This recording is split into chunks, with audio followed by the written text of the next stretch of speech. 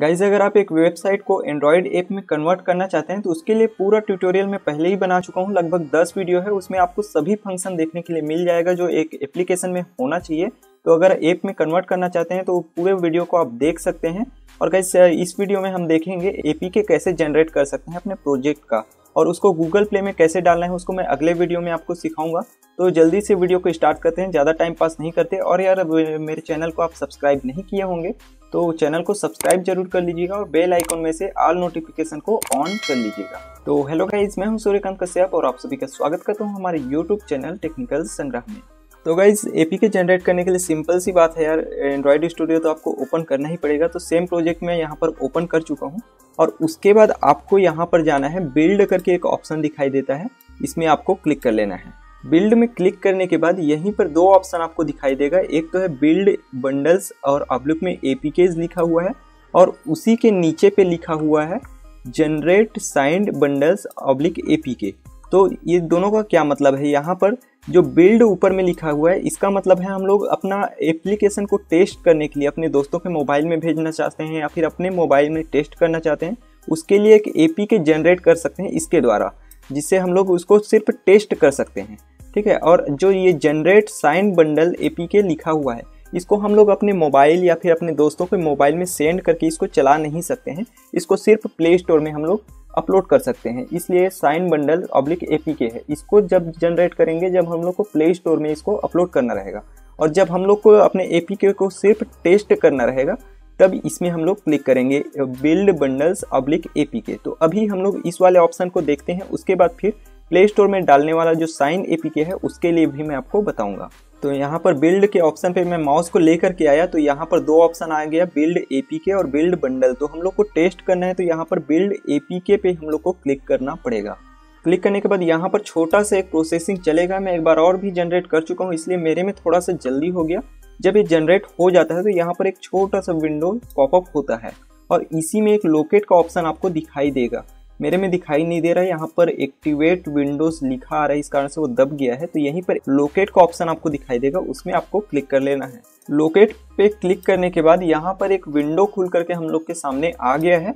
इसमें दो फ़ाइल हम लोग को दिखाई दे रहे हैं, ये दोनों फ़ाइल अभी बना है, जब मैं इसको बिल्ड पे क्लिक किया हूँ। तो इसमें जो ऊपर वाला फ़ाइल दिखाई दे रहा है, यही है हम लोग का एंड्रॉइड एपीके जिसको हम लोग अपने एंड्रॉइड मोबाइल में या दोस्तों के मोबाइल में सेंड करके ओपन कर सकते हैं। यहाँ पर देख लीजिए ए फ़ाइल भी लिखा हुआ है। और नीचे वाले को आप इग्नोर कर सकते हैं। ये आपके कोई काम नहीं आएगा, बस ऊपर वाला ए हम लोग का फ़ाइल है, उसको हम लोग सेंड करके देख सकते हैं। और अगर आप इन दोनों फ़ाइल का लोकेशन जानना चाहते हैं तो ऊपर में देख लीजिए, एक छोटा सा एरो दिखाई दे रहा है। इसमें हम लोग क्लिक करेंगे तो वहाँ पर हम लोग का फ़ाइल का लोकेशन हम लोग को पता चल जाएगा। तो यहाँ पर देख लीजिए, ये जो दिखाई दे रहा है, इसी लोकेशन पे हम लोग का ये दोनों फ़ाइल बना हुआ है। अब देखते हैं कि प्ले स्टोर में डालने के लायक साइंड एपीके कैसे जनरेट करना है। तो उसके लिए हम लोग फिर से यहीं पर बिल्ड पे क्लिक करेंगे और इस बार हम लोग generate sign bundles oblique APK जो लिखा हुआ है, उसमें हम लोग चले जाएँगे। जनरेट साइन बंडल और एपीके में क्लिक करने के बाद यहाँ पर हम लोग के सामने इस तरीके का विंडो खुल करके आएगा। इसमें दो ऑप्शन पूछा जा रहा है। एक तो है एंड्रॉयड एप बंडल हम लोग जनरेट कर सकते हैं और दूसरा है एपीके फ़ाइल हम लोग जनरेट कर सकते हैं। और दोनों के दोनों को किसी को भी हम लोग प्ले स्टोर में अपलोड करने के लायक रहेगा, लेकिन हम लोग अगर एंड्रॉयड ऐप बंडल जनरेट करते हैं तो इसमें कुछ कुछ फ़ायदा हम लोग को मिलता है। यहाँ पर देख लीजिए। तो अगर आपको लगता है कि ये सभी आपके लिए ज़रूरत का है, आपका काम आएगा तो आप एंड्रॉयड ऐप बंडल के साथ जा सकते हैं। इसमें भी कोई प्रॉब्लम नहीं है, ये भी आसानी से आप प्ले स्टोर में अपलोड कर सकते हैं। मैं ये भी करके दिखाऊँगा आपको और ए के साथ जाएँगे तो ये भी आप आसानी से प्ले स्टोर में अपलोड कर सकते हैं। तो अभी मैं यहाँ पर एंड्रॉयड एप बंडल पे ही क्लिक रहने देता हूँ क्योंकि पहले से ही है और इसमें कुछ कुछ फ़ायदा भी मिल रहा है तो इसी को हम लोग जनरेट करेंगे। उसके बाद हम लोग को जाना है यहाँ पर नेक्स्ट पे क्लिक करना है। नेक्स्ट में क्लिक करने के बाद इस तरीके का विंडो सामने आता है तो इसमें से जो पहला सबसे ऑप्शन मिलता है, इसको तो हम लोग को कुछ भी नहीं करना है, और सेकेंड नंबर पर यहाँ पर लिखा हुआ है की स्टोर पाथ तो इसमें से जो खाली डिब्बा दिखाई दे रहा है, इसमें हम लोग को पाथ हम लोग का सेलेक्ट करना है तो उसके लिए हम लोग यहाँ पर क्रिएट न्यू का ऑप्शन दिखाई दे रहा है, इसमें हम लोग क्लिक करेंगे। पहली बार जब हम ए के जनरेट करना चाहते हैं किसी भी प्रोजेक्ट का, तब इस, ये ऐसा ऑप्शन दिखाई देता है की स्टोर पाथ उसका नहीं रहता है तो उसके लिए हम लोग यहाँ पर क्रिएट न्यू पे क्लिक करेंगे। क्रिएट न्यू पे क्लिक करते ही ऐसा विंडो आपके सामने आ जाएगा। तो इसमें से पहला ऑप्शन में की पाथ करके लिखा हुआ है। तो यहीं पर एक फ़ाइल का ऑप्शन दिखाई दे रहा है। इसको हम लोग क्लिक करेंगे और अपना फ़ाइल का लोकेशन चयन करेंगे। जहाँ पर हम लोग को अपना की स्टोर का पाथ देना है। जहाँ पर हम लोग का एपी के बंडल को सेव करना है। और वो ऐसा होना चाहिए, वो कभी आपका डिलीट नहीं होना चाहिए, जैसे आप प्ले स्टोर पर डाल रहे हैं और आगे चल के अपने ए पी में कुछ चेंजेस करना चाहते हैं और उसके बाद फिर उसका अपडेट प्ले स्टोर पर डालना चाहते हैं तो ये पाथ सेम ही रहेगा। मतलब जो पहले नया बनाना पड़ा था ना, वो बनाना आपको नहीं पड़ेगा। तो इसको आपको अच्छा से देना है। मतलब ये फोल्डर कभी डिलीट नहीं होना चाहिए अगर आप अपने ए में अपडेट लाना चाहते हैं। अगर ये फोल्डर डिलीट हो जाता है तो आप अपडेट नहीं ला पाएँगे, फिर से नया ए आपको अपलोड करना पड़ेगा। तो देख लीजिए, यहाँ पर मैं पाथ तो सेलेक्ट कर चुका हूँ। अब उसके बाद नीचे में दो ऑप्शन दिखाई दे रहे हैं। दोनों में हम लोग को पासवर्ड डालना है तो कुछ इजी पासवर्ड आपको डालना है। जैसे आप एक साल बाद भी अपना ए को अपडेट करना चाहते हैं तो वो पासवर्ड आपको याद रहना चाहिए। आपको कभी भूलना नहीं है उस पासवर्ड को। जब भी उसका अपडेट लाएँगे तो यही पासवर्ड सेम आपको उस समय भी लगेगा।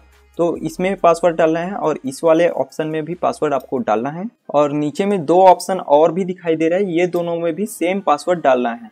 मतलब चार जगह पे सेम पासवर्ड आपको डालना है। तो कोई इजी पासवर्ड ही डालिए जो आपको आसानी से याद रहे। तो यहाँ पर चारों जगह पे मैं सेम सेम पासवर्ड डाल चुका हूँ। मैं एकदम सिंपल पासवर्ड डाला हूँ यहाँ पर Surya one two three four five six इतना सरल ही पासवर्ड डाला हूँ ताकि ये मेरा याद रहे, जो हॉटस्पॉट का पासवर्ड रहते हैं सेम टू सेम मैं यही रखता हूँ। इसी कारण से यही पासवर्ड मैं यहाँ पर भी डाल दिया हूँ। अब यहीं पर नीचे में आप देख पा रहे होंगे सर्टिफिकेट करके लिखा हुआ है और ये सभी बॉक्सेस बना हुआ है।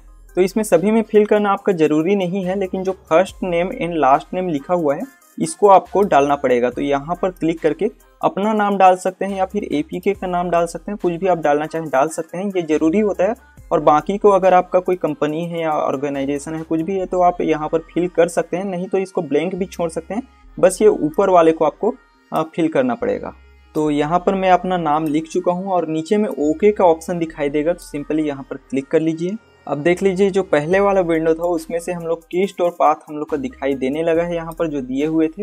तो ये पहले से रहेगा, जब भी आप अपडेट करने के लिए आएँगे तो ये पहले से रहेगा। आपको क्रिएट न्यू पे कभी क्लिक नहीं करना करना है। अगर आप अपडेट करना चाहते हैं तो। ये अपडेट करने के टाइम का बता रहा हूँ। अभी तो ये बन चुका है, अभी बनाया है इसको। और बाकी अदर टाइम अपडेट करेंगे। तो इसको ऐसे ही रहने देना है, यही पाथ रहेगा। तो हम लोग का ए के अपडेट के लिए जाएगा, ना कि नया ए हम लोग का अपलोड होगा, ठीक है? तो इस पाथ को हम लोग को ऐसे ही रहने देना है हमेशा के लिए। और यहाँ पर की स्टोर पासवर्ड डला हुआ है, ये वही पासवर्ड है जो वहाँ पर चार जगह पे जो डाले हुए थे ना, वही पासवर्ड यहाँ पर डला हुआ है। अगर यहाँ पर नहीं भी रहता है तो सेम पासवर्ड यहाँ पर दोनों जगह पे आपको फिल कर लेना है। और उसके बाद मेरे में ये वाला ऑप्शन अभी चेक है तो अगर आपके में नहीं रहता है चेक तो इसको चेक कर लेना है। और उसके बाद फिर यहाँ पर नेक्स्ट के बटन पे आपको क्लिक करना है। सबसे नीचे में नेक्स्ट का बटन है उसमें। नेक्स्ट में क्लिक करने के बाद ऐसा विंडो दिखाई देगा तो इसमें से आपको रिलीज़ को क्लिक करना है। और उसके बाद आपको नीचे में फिनिश के ऑप्शन को क्लिक कर लेना है। उसके बाद देख लीजिए नीचे में प्रोसेसिंग हो रहा है तो इसको पूरा होने देते हैं। थोड़ा सा समय लगेगा इसमें। आपके पीसी के कन्फिग्रेशन के ऊपर ये डिपेंड करता है। तो इसको पूरा होने देते हैं एक बार। बिल्ड कंप्लीट होने के बाद यहाँ पर फिर से छोटा सा विंडो आ गया है। यहीं पर एक छोटा सा एरो आपको दिखाई देगा। इसमें हम लोग क्लिक करेंगे।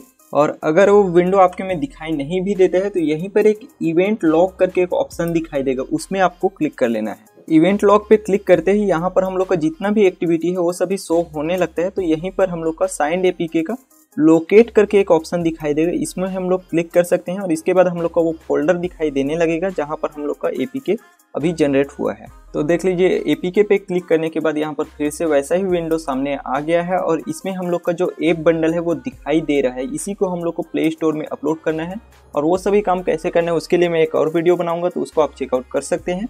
इसमें 1560 केबी का ये फ़ाइल बना हुआ है और इसका लोकेशन अगर आपको जानना है तो ऊपर में आप लोकेशन भी देख सकते हैं। इसी लोकेशन पे आप जा कर के भी इसको एक्सेस कर सकते हैं इस फ़ाइल को।